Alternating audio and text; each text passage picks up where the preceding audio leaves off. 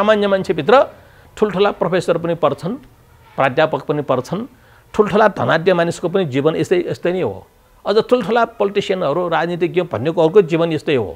जन्मन्छ योग्यता हासिल गर्छ क्षमता हासिल गर्दछ राजकाज चलाउँछ प्रधानमन्त्री धेरैचोटि बन्ला राष्ट्रपति बन्ला मन्त्री बन्ला के के बन्ला अनि एक दिन चाहिँ नि रोगी बिरामी हुन्छन् अनि मर्छन् सक्छ। यो हो सामा यसलाई भनिन्छ सामान्य मान्छे त्यो पोलिटिसियन भए पनि सामान्य हो। विद्वान भए पनि सामान्य हो ऊ कलाकार भए पनि उसको जीवन सामान्य हो। अब यहाँ नाम सङ्गीतिमा अ आ अङ अ भन्ने चारवटा पनि वास्तवमा सामान्य मान्छेको होइन विशेष मान्छेको जीवनको चार चरण हो त्यो। चार चरणलाई दर्शाउन खोज्नु भएको छ भगवान् बुद्धले। के को माध्यमबाट? नाम सङ्गीतिको धर्मदेशनाको माध्यमबाट।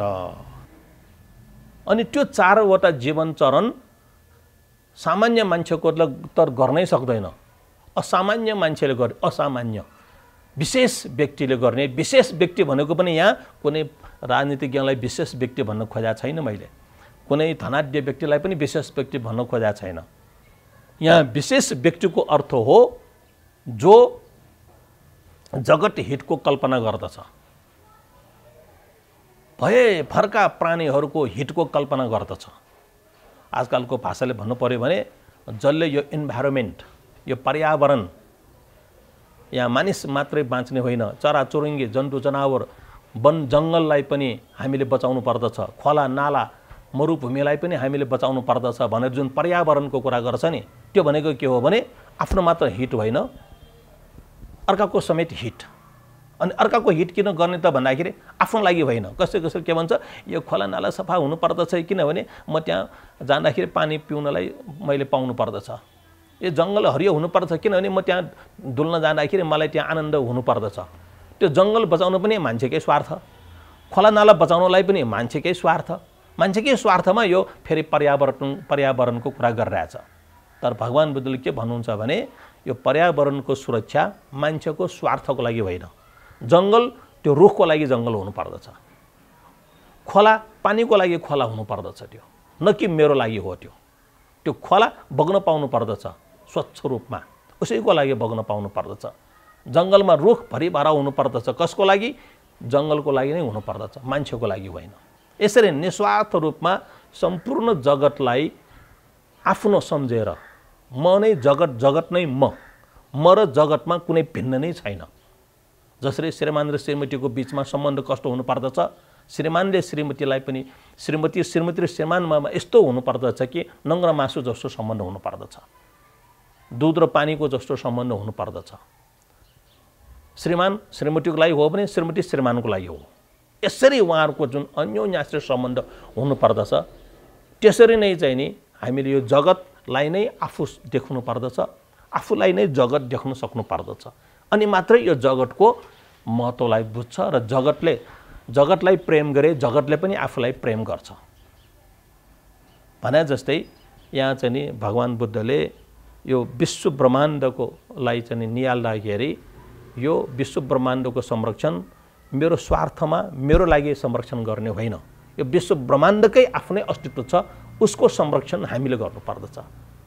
भनेर यसरी उहाँले बाँच र बचाऊ आफू पनि बाँच अरूलाई पनि बचाऊ। यस्तो सिद्धान्त उहाँले प्रतिपादन गर्नुभएको। त्यस्तो व्यक्तिलाई मैले भनेको हो विशेष व्यक्ति भनेर भनेको त्यस्तो विशेष व्यक्तिका जीवनका चारवटा चरण हुँदा रहेछन् सामान्य जीवनको मानिसको जीवनका चरण पनि चारवटै छन्। के हो अरे? जन्म जरा व्याधि मृत्यु। त्यसको बिचमा अरबपट्टि होला हो दसचोटि प्रधानमन्त्री बन्ला हो दुईचोटि राष्ट्रपति होला हो तर सामान्य मान्छेकै जीवन चरित्र हो त्यो? तर विशेष व्यक्तिको जीवन चरित्र पनि चारवटै छ। त्यो जीवन चरित्र जन्म जरा व्याधि मृत्यु चाहिँ होइन। अब आउँछु म त्यो जीवनका चार चरण जसै एउटा चरणको नाउँ अ अर्को चरणको नाउँ आ फेरि अर्को तेस्रो चरणको नाउँ अङ अनि अन्तिम चरणको नाउँ अ अ आ अङ अ त्यो हो विशेष व्यक्तिको जीवन चरित्र है त ल श्रोताहरू ब्रेन्डहरूले दर्शक ब्रेन्डहरूले अलि ध्यान दिएर यसलाई सुन्नुहोला भन्ने मैले अनुरोध गरेको छु अझ पाएदेखि त्यसलाई चटक्क कतै टिपिहाल्ने भएन भनेदेखि मनमै कोर्ने गर्नुहुनेछ भन्ने मैले अपेक्षाका साथ भनौँ न मैले नारायणदेखिको बल निकालेर अर्थात् मैले यो कुरालाई जसरी रेङ्गम गरेँ र यो पढेँ पढ पढेर हेरेर मलाई जति किस एउटा यसले जोस जाँगर मलाई दिएको छ। आहा मैले केही कुरा चाहिँ नि मैले नयाँ कुरा राम्रो कुरा विशेष व्यक्तित्व झल्काउने कुरा पढ्न पाएँ जस्तो मलाई लागेको हो। यो कुरा तपाईँहरूलाई आज मैले यो बोधी टिभीको माध्यमबाट यहाँ पस्कन पाउँदाखेरि दिन पाउँदाखेरि म यति हर्षित छु कि है त्यो हर्षित भएर म यो कुरा बताउन गइरहेको छु। हो विशेष व्यक्तिको जीवनका चार चरण हुन्छन् अथवा हुनुपर्दछ। त्यो हो सबभन्दा पहिले त्यो व्यक्तिले बोधिचित्त उत्पन्न गर्नुपर्दछ। बोधिचित्त उत्पन्न गर्नुपर्दछ चित्त त छँदैछ। यो चित्तमा कहिले के कुरा उत्पन्न हुन्छ कहिले के कुरा उत्पन्न हुन्छ? अब यो चित्तमा अरू कुरा उत्पन्न गर्ने होइन। बोधिचित्त उत्पन्न गर्ने। म जगत हितको लागि बुद्ध बन्न सकौँ भन्ने भाव प्रकट गर्ने।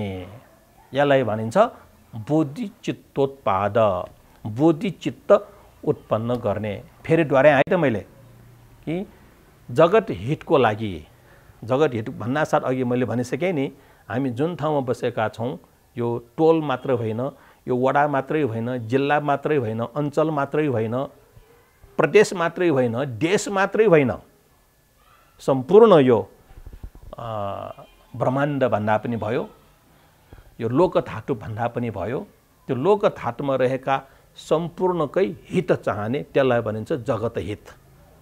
जगत हितको लागि म बुद्ध बन्न सकौँ. अरू भएर जगत हित नहुँदा रहेछ के राजनीतिज्ञ भएर आफ्नै क्षेत्रको मात्रै विकास हुँदा रहेछन् देशप्रेमी भएर आफ्नै देशको मात्रै प्रेम गर्दा रहेछन् त्यसैले त नेपालले धेरै दुःख खाएको नि. अरू छिमेकी राष्ट्रमा उनीहरूमा राष्ट्रियता छ आफ्नो देशको लागि. जसले गर्दाखेरि हामीले चेपुवामा चेपुवामा परेर दुःख खानु परेको छ। होला हामीले पनि आफ्नो राष्ट्रियताको लागि नाममा अरूलाई थिचोमिचो गरेको छ कि? यसरी राष्ट्रियता एउटा देशको राष्ट्रियता हुँदाखेरि अर्को राष्ट्रलाई हेप्ने रहेछ उसले। अर्को राष्ट्रलाई दबाउने रहेछ उसले। किनभने आफ्नो देशको राष्ट्रियता जोगाउनु छ। तर त्यो राष्ट्रियताले विश्व ब्रह्माण्डलाई शान्ति दिन सक्दैन विश्व शान्ति दिन सक्दैन।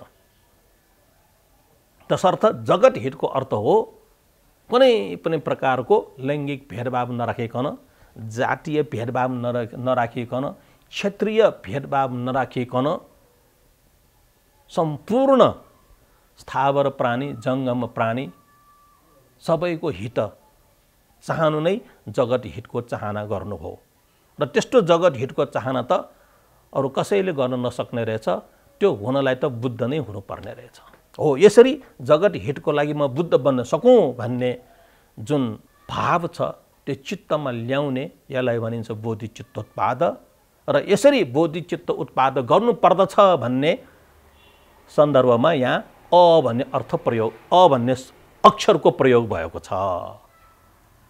अब बोधिचित्त त उत्पन्न भयो त अब के गर्ने त? अब दोस्रो चरण अब उसको काम हो बोधिसत्वचर्या गर्ने। जो व्यक्तिले म बुद्ध जगत हितको लागि बुद्धत्व प्राप्त गर्दछु बुद्ध बन्छु भन्छ।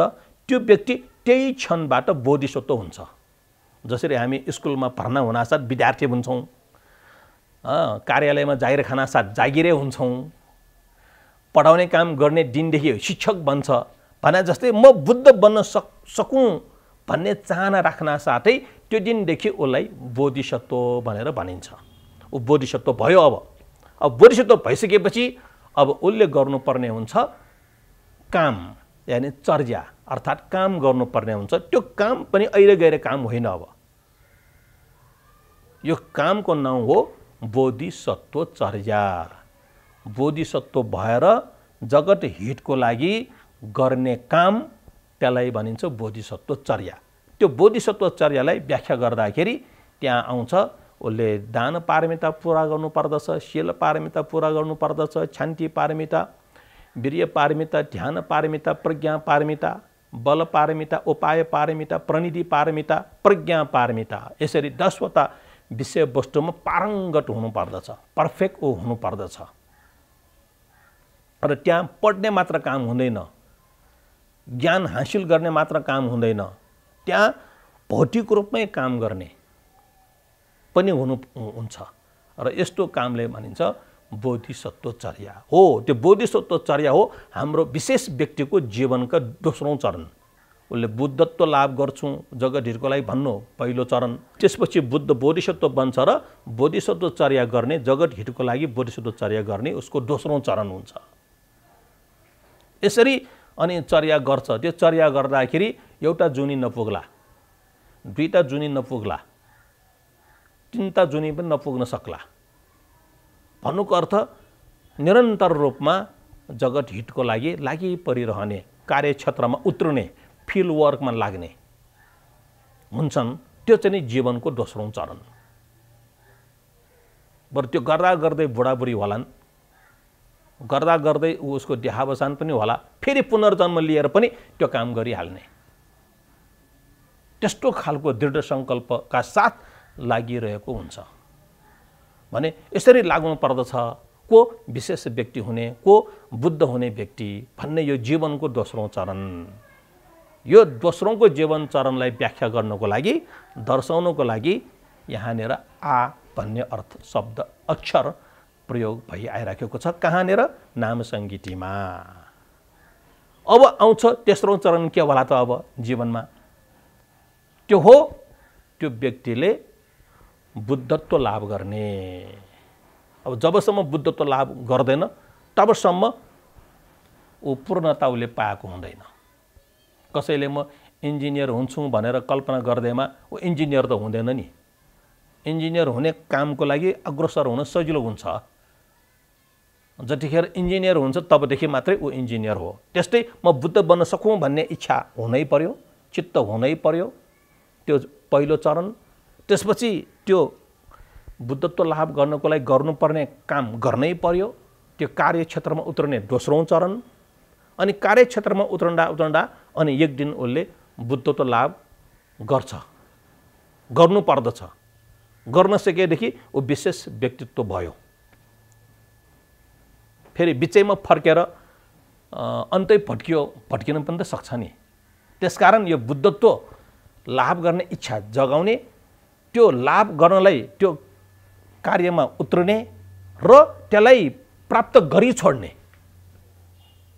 प्राय मानिसहरू के हुन सक्छन्? डाक्टर बन्छ भन्छन् नर्स मात्र बनेर फर्कने पनि बेर छैन होइन? अथवा भनौँ न फलाना बन्छु भन्छ र बिचैबाट फर्कन पनि सक्छ विभिन्न कारणले। यहाँ यति जोड दिएको छ कि बुद्ध भव्यम जगत हिटाए जगत हिर्को लागि म बुद्ध बन्न बन्छु भन्ने दृढ सङ्कल्प त्यसपछि कार्यक्षेत्रमा उत्रने दश पारमिताको चर्या गर्ने दोस्रो जीवनको चरण त्यसपछि बुद्धत्व लाभ गरी छोड्ने बुद्ध भएरै छ छोड्ने जस्तो कि सिद्धार्थ गौतमले म बुद्ध बन् बन्छु भनेर अठोट गर्नुभयो। त्यसपछि जुनी जुनीसम्म उहाँले बोधिसत्व चर्या गर्नुभयो र अनि लुम्बिनीमा जन्मनु भएर होइन अनि सारनाथमा गएर र बुद्ध गयामा गएर उहाँले र बुद्ध बनेरै छोड्नुभयो हो बुद्ध बनेरै छोड्ने त्यो हो जीवनको तेस्रो चरण। कसको? सामान्य मान्छेको होइन। सामान्य मान्छेको जीवनको तेस्रो चरण त के हो?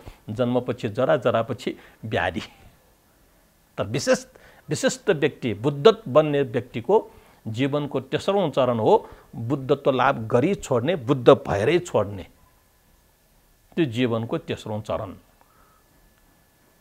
त्यसपछि हो। अब बुद्धलाई अर्को शब्दमा भनिन्छ तथागत भनिन्छ। तथागत भन्नुहोस् बुद्ध भन्नुहोस् सम्यक सम्बुद्ध भन्नुहोस् जिन भन्नुहोस् शास्ता भन्नुहोस् यो सबै बुद्धका पर्यावाची शब्द हुन्। यसरी त्यसमध्ये एउटा पर्यावाची शब्द हो तथागत। बुद्धलाई चिन्ने शब्द तथागत। हो। अब त्यो बुद्ध भइसकेपछि त्यो बुद्धले फेरि चर्या गर्नुपर्छ। फेरि उसले काम गर्नु पर्दछ अघि बोधिसत्व हुँदाखेरि गरेको काम। है बुद्ध बन्नको लागि गरेको काम। अब बुद्ध भइसकेपछि गर्ने कामको कुरा आउँछ। बुद्ध नै भइसकेपछि अब उसले गर्ने जुन काम त्यसलाई भनिन्छ बुद्धचर्या। बुद्धचर्या भन्दा पनि ग्रन्थमा यसलाई तथागत चर्या भनेर भनिन्छ। भन्ने यो तथागत चर्या। हो यो तथागत चर्या जीवनको चौथौँ चरण होइन यो तेस्रो चरण अन्तर्गत पर्दछ। बुद्ध बन्ने भनेकै तथागत बन्ने त्यो बन्नुको अर्थ नै हो कामको लागि बन्ने हो। बन्नको लागि बन्ने होइन। कामको लागि नै बन्ने हो। भएको हुनाले यो तेस्रौँ चरणमा बुद्धत्व लाभ गर्नु र अनि बुद्धचर्या गर्नु यो तेस्रौँ जीवनको चरण। कसको? विशेष व्यक्तिको। त्यसपछि हो अब चौथौँ चरण आउँछ। अनि देखाउन सक्नुपर्छ उसले। ल हेर यसरी अब हामी जीवनबाट मुक्ति पाउँछौँ यसरी हामी मोक्ष पाउन सक्छौँ यसरी हामी निर्वाण प्राप्त गर्न सक्छौँ भनेर अनि निर्वाण पनि प्राप्त गरेर देखाइदिने। निर्वाण प्राप्त गरेर आफू महासुखमा प्रवेश गर्ने। यसरी जुन निर्वाणलाई निर्वाण भन्ने छ है निर्वाण प्राप्त गर्नु पर्दछ है भन्ने मात्रै होइन। आफूले पनि त्यो निर्वाणलाई साक्षात्कार गरेर देखाइदिने। आफू पनि त्यो निर्वाणमा प्रवेश हुने। त्यो निर्वाण रूपी महासुखमा प्रवेश हुने त्यो हो जीवनको अन्तिम चरण। कसको? सामान्य मान्छेको होइन। सामान्य मान्छे त मृत्यु मात्रै हुन्छ। विशेष व्यक्ति भन्नुको अर्थ बुद्ध जस्तो व्यक्तिको जीवनको अन्तिम चरण हो महापरिनिर्वाण र महासुखमा प्रवेश। जसले गर्दाखेरि ओहो यसरी हामी महासुखमा प्रवेश गर्न सक्छौँ भन्ने कुरा यो देख्नेहरूलाई त आश्वास आश्वस्त हुन्छ। ओहो हामी पनि यस्तो हुन सक्छौँ। यो त ज्वलन्त उदाहरणै यहाँ छ भनेर उसलाई उत्साहित पार्ने यस्तो खालको जीवनको चर्या हुनुपर्दछ। र त्यो जीवनको अन्तिम चर्यालाई नाम सङ्गीतिमा यो हाम्रो अआइको जुन स्वर छ त्यहाँनिर अन्तिम अक्षर हो अ जहाँ अको पछाडि विसर्ग पनि छ। त्यो अ भन्ने अर्थले यो अवस्थालाई देखाउँदछ। यसरी मैले त्यहाँलाई के बताउन कोसिस गरेँ भन्दाखेरि अरू ग्रन्थमा हामी भगवान् बुद्धका उपदेशहरूलाई हेर्दाखेरि सामान्य मान्छेको जीवन चरित्र त्यहाँ दर्शाइएको छ।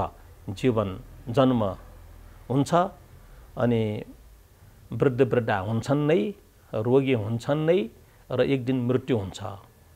यो भनेको दुःखदायी हो। जन्माउनु पनि दुःख नै हो जरा हुनु पनि दुःख नै हो व्याधि रोगी हुनु पनि दुःख नै हो र मृत्यु हुनु पनि दुःख दुःख नै हो।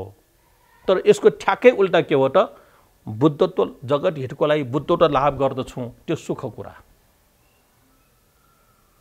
म बोधिसत्व चर्या गर्दछु त्यो अर्को सुखको कुरा। म बुद्ध बने।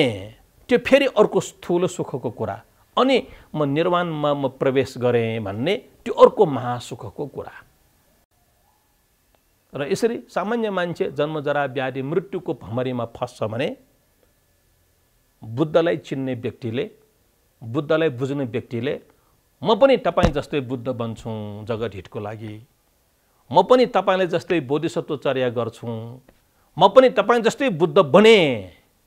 र म पनि अब महासुखमा महापरिनिर्वाणमा प्रवेश गरेँ भनेर उहाँले यसरी जीवनका चार चरणहरू पार गर्दछन्। यो जीवनको पार चार चरण यो बुद्धचर्या हो। यसलाई भन्न सकिन्छ अर्को शब्दमा बुद्ध लीला बुद्धहरूले खास देखाउने कुरा यो हो। ऊ बोधिचित्त उत्पन्न गरेर देखाउँछ उसले। उसले बोधिसत्वचर्या गरेर देखाउँछ अनि उसले बुद्धत्व लाभ गरेर देखाउँछ अनि उसले महापरिनिर्वाण लाभ गरेर देखाउँछ। र यसरी देखाउने भयो एकजना बुद्धले मात्रै देखाउनु भएन। अतीतका बुद्धले पनि यो चारवटा चरण पार गर्नुभएको थियो थिए। र भविष्यमा हुने बुद्धहरूले पनि यो चारवटा चरण पार गर्छन् गर्छन्। गर्नै पर्छ। र यो गर हुने हुनाले यसलाई बुद्ध लीला पनि भन्ने गर्दछ। अर्को शब्दमा बुद्ध नाटक पनि भनिन्छ यस्तोलाई। र नाम सङ्गीतमा एक ठाउँमा आउँछ बुद्ध नाटक भन्ने पनि शब्द आउँछ। ल यसरी मैले बोधित टिभीको मा माध्यमबाट सुनिरहनु हुने मेरा अग्रजहरू मेरा अनुजहरू मैले श्रद्धा गर्नुपर्ने का श्रद्धाका पात्रहरू यहाँहरू सबैलाई मैले नाम सङ्गीतिको पर्वको दिनमा यहाँहरू सबैले अब जीवन दुःख जरा दुःख व्याधि दुःख मृत्यु दुःख भनेर मात्रै जप्ने होइन। यो सामान्य मान्छेको जीवन चरित्र हो। विशेष व्यक्ति अर्थात् बुद्ध जस्ता व्यक्तिको जीवन चरित्र भनेको जगत हितको लागि म बुद्ध बन्न सकौँ भन्ने ठुलो जीवनको पहिलो चरण अनि बुद्ध बोधिसत्वचर्या गर्ने दोस्रो चरण अनि बुद्धत्व लाभै गरेर देखाउने तेस्रो चरण र अनि महापरिनिर्वाणमा प्रवेश भएर देखाउने यो चौथौँ चरण यो सारा बुद्ध अतीतका बुद्धहरूले देखाएर गएको यो लीला हो नाटक हो घटना हो बुद्धचर्या हो। भनेदेखि भविष्यमा जति पनि बुद्धहरू हुन्छन् यो चारवटा चरण उहाँहरूले पार गर्नुहुन्छ। र यस्तो कुरा गम्भीर कुरा यो नाम सङ्गीति भन्ने ग्रन्थमा अ आ अङ अ भन्ने चारवटा अक्षर एक ठाउँमा मन्त्रको रूपमा आउँछन्। र यो कुरालाई यहाँ दर्शाइ दर्शाइएको छ। यो कुरा यस्तो गम्भीर जुन यो विषयवस्तु छ यो विषयवस्तुको व्याख्याता व्याख्या गर्ने व्यक्ति हुनुहुन्थ्यो भिक्षु रवि श्री गुप्त भन्नेले यसरी व्याख्या गर्नुभएको छ। यो कुरा आज मैले तपाईँहरूलाई बोधी टिभीको माध्यमबाट सुनाउनु पाउँदा म हर्षले गदगद छु खुसी छु आशा गर्छु यहाँहरू सबैले यो नाम सङ्गीतिको यति गम्भीर विषयवस्तु रहेछ। यो हामी धन्य छौँ नेपालीहरू। हामी बही महाविहारमा बसेर यो ग्रन्थ हामी बुझी नबुझी पाठ गर्छौँ तर गतिलो कुरा हामी पाठ गरी आइरहेका रे आइरहेका रहेछौँ भन्ने कुरामा तपाईँहरूलाई गर्वानुभूति भइरहेको छ भन्ने मैले आशा लिएको छु। र गुम्बा गुम्बामा पनि यो ग्रन्थको पाठ हुन्छन् नै र उहाँहरूले पनि यसलाई हृदयङ्गम गरेरै पाठ गरी आइराख्नु भएको छ र देश विदेशमा पनि आज यो नाम सङ्गीतिको बुझी नबुझिकन उहाँले पाठ गरी आइराख्नु भएको छ तर ठिक ठाउँमा रहनु भएको छ ठिक कुरालाई चाहिँ नि पाठ गर्दै आइराख्नु छ भन्ने कुरा यहाँहरूले बुझुन् बुझोस् र यस्तो नाम सङ्गीतिको विषयमा अझ पनि चर्चा परिचर्चा होस् सबैले यो ज्ञानबाट लाभान्वित हुन पाओस् र साँच्चै अब हामी एउटा टोल वडा अनि जिल्ला अञ्चल प्रदेश देश होइन विश्व शान्तिको हामी कामना गरौँ। विश्व शान्तिको सम्भावना छ नाम सङ्गीतिको कारणले। नाम सङ्गीतिको माध्यमबाट भन्ने कुरा हामी हृदयगम गरौँ भन्दै यो कुरा मैले यहीँ टुङ्ग्याउन चाहेँ। हामी सबैको कल्याण होस्.